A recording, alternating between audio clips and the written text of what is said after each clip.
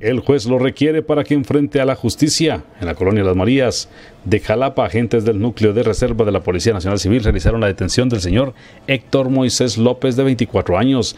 Esto al tener una orden de captura vigente girada en su contra.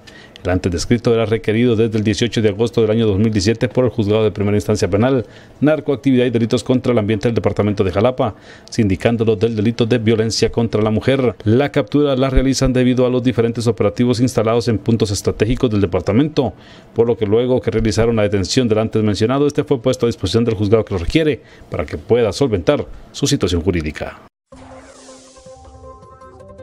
Para los T21, los Chapines y el mundo, notijalapa.net.